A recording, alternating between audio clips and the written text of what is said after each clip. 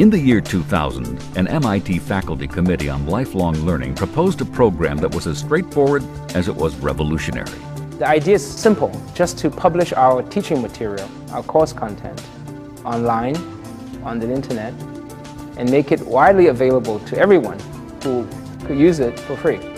OpenCourseware, OCW, is MIT's web-based initiative that offers open access to the core teaching materials, syllabi, lecture notes, assignments, and exams from 1,800 courses, free of charge for educators and learners worldwide. The idea that we came up with, OpenCourseware, uh, was really a revolutionary idea, particularly at the time, because in 1999, it was the heyday of the dot-com era, and everyone was thinking of a for-profit model. Although we considered it, we felt that for MIT, the right thing to do, the right model, is to give away the teaching materials. Some faculty thought it was the dumbest idea ever. At MIT, we're giving away all our intellectual property to the world for free, and no one would use their textbooks anymore, no one would come to their classes anymore, etc., etc. And other people thought it was the best social good they'd ever heard of. Through the generous support of the William and Flora Hewlett Foundation, the Andrew W. Mellon Foundation, and the Ab Initio Corporation, MIT has published materials from virtually all MIT undergraduate and graduate courses on the OCW site, representing 33 academic disciplines.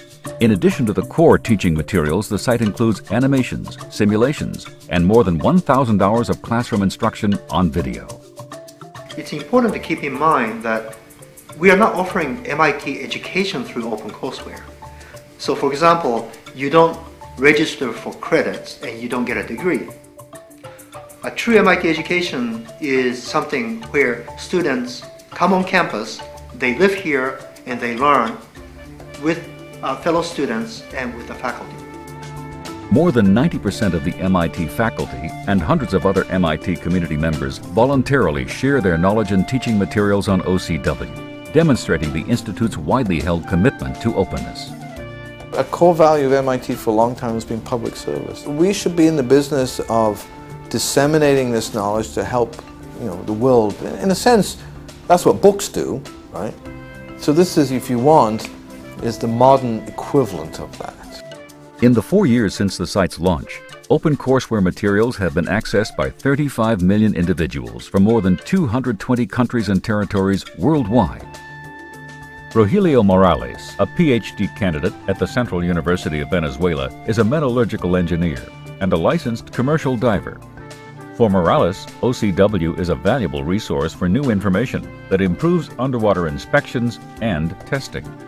I often download information from different topics and give it to our professors.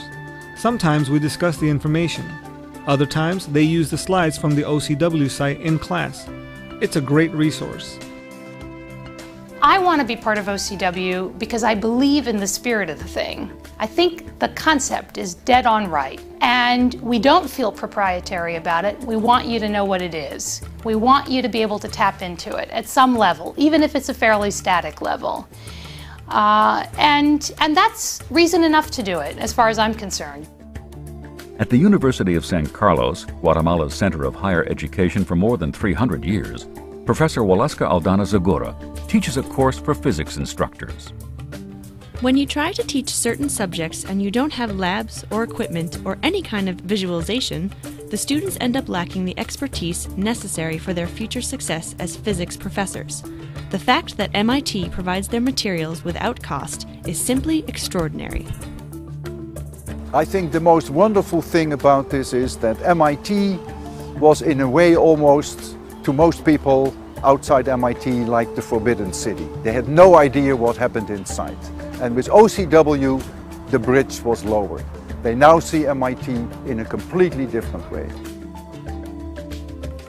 Triatno Yudo Harjoko, head of the architectural department at the University of Indonesia at Depok, was amazed that a university as renowned as MIT would give access to virtually all of its educational information. Harjoko believes that there is great value in MIT's free and open sharing.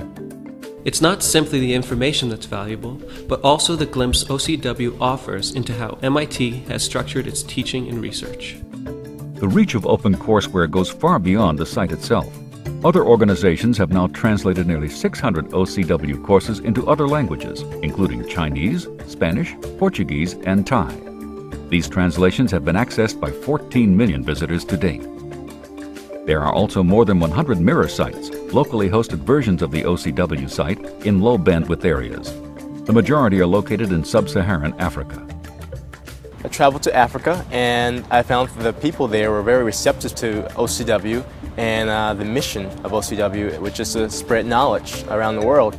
Many of the universities in Africa, they don't have books or the budgets are just really low compared to the United States. And so whatever little help they can get with setting up curricula or um, just more information about a subject, it really helps. Another area that many of us um, had an uh, aspiration for was that OpenCourseWare would not be just something that MIT does, but by setting an example and a model, uh, it would become something that many other institutions would also do, uh, not just in the areas that we are good at, like science or engineering or management, but in all kinds of fields of knowledge. And today there are over 150 universities around the world who are doing their own open courseware. And I think the, the dream that in fact open courseware would be truly a very, very broad-based movement that will impact knowledge, information, and education worldwide, I think it's coming to fruition even as we speak now. OpenCourseWare has grown from a bold experiment to a global movement. With the complete MIT curriculum now available on the site, OpenCourseWare has reached an important milestone, but is only at the beginning of the journey. MIT will continue to enhance and update OCW materials, develop new programs and features, and collaborate with others seeking to share their own knowledge, helping to create a truly global network of open educational resources. I came from a family, uh, in fact, we were refugees in Hong Kong, uh, somewhat sort of financially restricted uh, with very few options. And when I grew up, I remember uh, my father valuing education would bring home um, old second, third hand volumes of MIT books. I remember flipping these books and uh, seeing the dome, the picture of the dome on the front cover, and just aspiring one day uh, to go to MIT. And the fact that today I'm a professor at MIT and so forth, uh, it's a testimony to the fact that MIT has an impact way beyond its immediate borders. And I think that's at the heart, in some sense, of the idea of OpenCourseWare, that an institution like MIT has a responsibility, has an opportunity to impact students way beyond our immediate walls in Cambridge. MIT OpenCourseWare, unlocking knowledge, empowering minds.